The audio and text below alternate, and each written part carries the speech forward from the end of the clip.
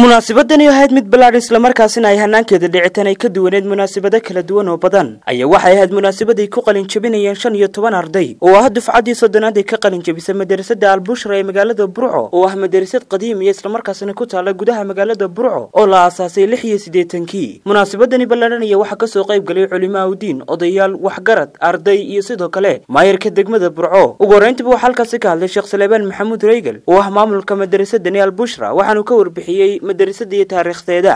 Aan dhigayey lix iyo bishii siddeedaad ayaan madrasadda anigu aan furay. Geerashka aweyna ilmo indho deero dhinacooda ayaa madarasaddii ugu horraysay aan ka furay.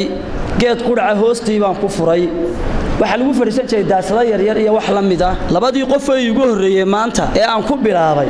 Aniga iga da'weyn marka la eego muuqaal ahaan taariikhda ilaa taariikhdan maanta aynu joogno waan dhigayey sabir baanaan u lahaa inaan u sabro cimrigayga inta ii hadhayn haddii ilaahay nafta ii daayo inaan maxay sii wado waan ku tala jira waxaan mar labaad u mahadnaqayaa macallimiinta iyo waalidiinta iyo bulshada kala duwan ee ka soo qayb gashay iyo madaxda heer gobol iyo heer degmoba taasi waa taariikhda madarasadda oo waxaa idinku filan xilliga aan bilaabay.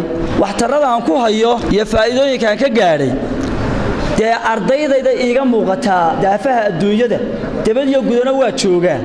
Xidhiirkayguna markuma go'o. Waxaanaan rajaynayaa insha allahu inay sidaa u sii socoto ayaan rajaynaya oo aanan joojin haddii ilaahay nafta ii daayo. Waxaan kaloo u dacaynayaa ardaydaas kuwa dhammeeyeyna waxaan ku baraarujinayaa iyagana ilaahay subxaana wa tacaala inuu qur'aanka ku sugo kuwo waalidkooda anfaca muslimiinta anfaca dalka anfaca inuu ilaahay ka dhigo.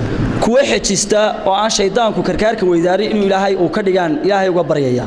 Geesta kale waxaa halkaasi hadallo kala duwan ka soo jeediyey xubno kala duwan oo ku hadlayay afka culimada gobolka tugdhar kuwaasi oo bogaadiyey islamarkaasina hambalyo u soo jeediyey ardaydani qalin jabisay iyo madarasadani albushra dhallinyaro maanta da'yar ah oo ilaahay kitaabkiisii xambaarsan oo dhaabtooda ilaahay geliyey.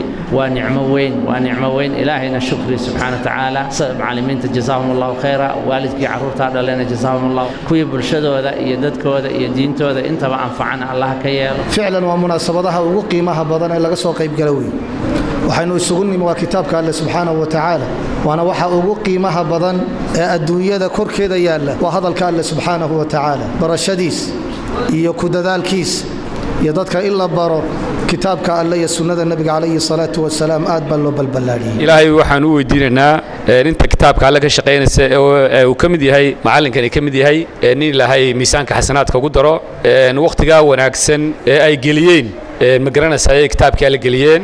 Annaguna ka waalid ahaan waxaanu nagu ducaysaan. Inaanu waajibaadkaygii annaguna aanu ka soo baxno waanu garab taagnaanaynaa yacni madrasadahan maama masaasadan waa isgarab taaganaa iyo madrasadanba de waxaa ka mid ahaa ardayda yaran cali bashiir baa ka mid ahaa axmed baa ka mid ahaa waan farabadnayn waa intii xilligaas. Isti awisti waa laga helayaa bariyo galbeed baa arday waa laga helayaa caalamka. Marka sharaf bay tahay maanta inaan ka hadlo ambaan kelmadii ka soo jeediyo way sharaf weyn bay tahay. Alxamdulilah madrasadani waa madrasad qaali ah macallinka xilligan uu shaqaynayo iyo taymku bilaabay cid maanta ku shaqaysa macallin qur'aan. Ma jirto magaalada. Waxaan dareemayaa xafladdan in ay ka duwan tahay oo ay ka qabowdahay qabowgaasoo aan u saamaynayo aan yani dareenkayga aan ku sheegayo inuu yahay qur'aanka diinta waxa la caddeeyey oo hore jaamacadaha loogu caddeeyey markii research lagu sameeyey in qofka qur'aanka marka uu barto ama diinta kitaabka qur'aanka uu yaqaano in ay u hawl yar tahay inuu cilmi kasta oo noocuu doono ha noqdee ay u hawlyartahay cilmi kasta inuu barto marka madaarista in la mideeyo oo la tayeeyo midowgaan u midownayna waxa weeye waa tayaynta ardayda.